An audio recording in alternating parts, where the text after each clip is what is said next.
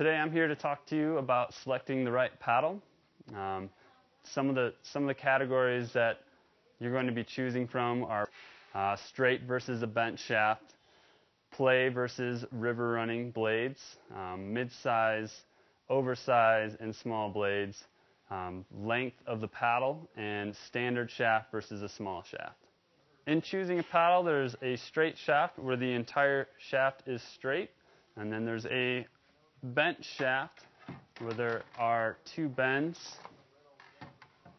in the paddle shafts where you grip, um, and that's for ergonomics and comfort when you're paddling.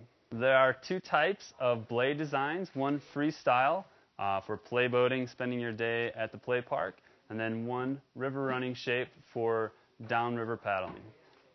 Paddles come in varying lengths. Um, some are shorter for kids, going up to longer paddles for taller adults and stronger, stronger paddlers.